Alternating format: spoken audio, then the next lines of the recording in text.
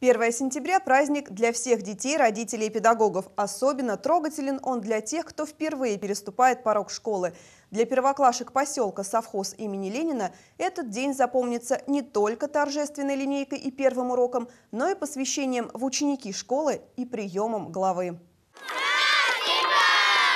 Продолжением линейки, открывающей учебный год, стал праздник посвящения ребят, впервые переступивших порог школы, в первоклассники. Вчерашние дошколяты торжественно шествовали через живой коридор, принимая в свой адрес аплодисменты, поздравления и пожелания.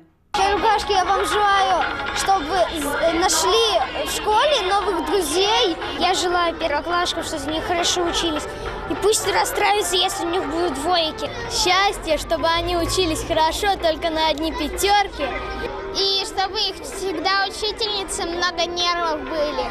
Пусть у первоклассников будут пятерки и много-много счастья, веселья добра. И пусть они слушаются много-много учителей. И самое главное, чтобы они были хорошими детками. Как правило, церемония посвящения в первоклассники проходит спустя месяц-два после начала учебного года. Но в совхозе имени Ленина есть многолетняя традиция устраивать ее именно 1 сентября, в день, когда малыши становятся взрослее, когда их принимают в большую дружную семью – школу.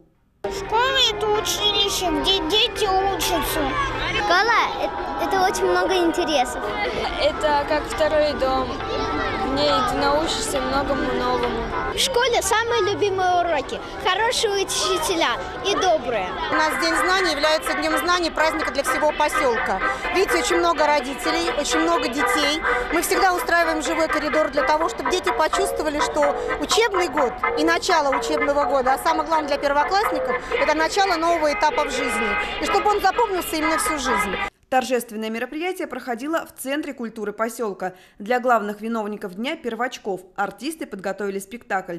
Вместе с любимым детворой персонажем Буратино ребята вызволяли из цепких лап лисы Алисы кота Базилио Мальвину, отвечая на хитрые загадки и каверзные вопросы, и принимали поздравления от завтрашних школьников, воспитанников детского сада.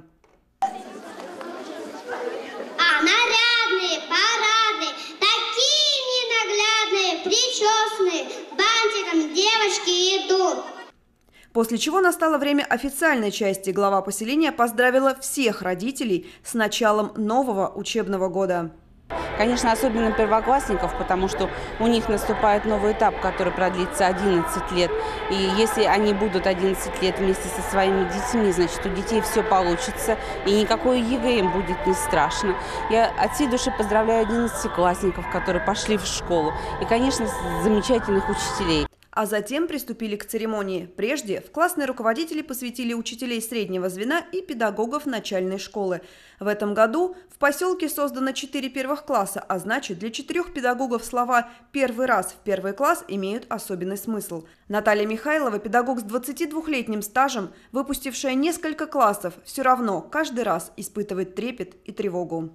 Хочется, чтобы родители были рады, чтобы дети были счастливы, чтобы научились страх того, что надо всему научить, они же ничего еще, по сути, не знают, все нужно преподнести им так, чтобы они все, пустить их в жизнь, дать им путь в жизнь. Самый важный момент – передача эстафеты от 11-классников новым ученикам и вручение первоклашкам лент и подарков от ЗАО «Совхоз» имени Ленина. Кстати, это градообразующее предприятие – давний и надежный друг и спонсор нескольких образовательных учреждений района. Нацию может объединить, всегда, кстати, объединяла – это забота о детях. Это совхоз, он, э, зная его социальную направленность, можно предположить, что мы, конечно, этому много внимания уделяем. И у нас есть три школы подшефные. Это первая школа. В этом году мы им подарили стадион. Достаточно такой дорогой, но очень красивый. А здесь в школе мы детскую площадку сделали. И в Развилковской школе мы подарили там 20 ноутбуков, чтобы дети могли интернет э, прям в школе осваивать. Завершением церемонии стал прием главы в кафе «Ягода». Ощущение праздника было подкреплено вкусным угощением, пирожными и мороженым. Татьяна Акимова, Евгений Петров, Наталья Буслаева. Видное ТВ.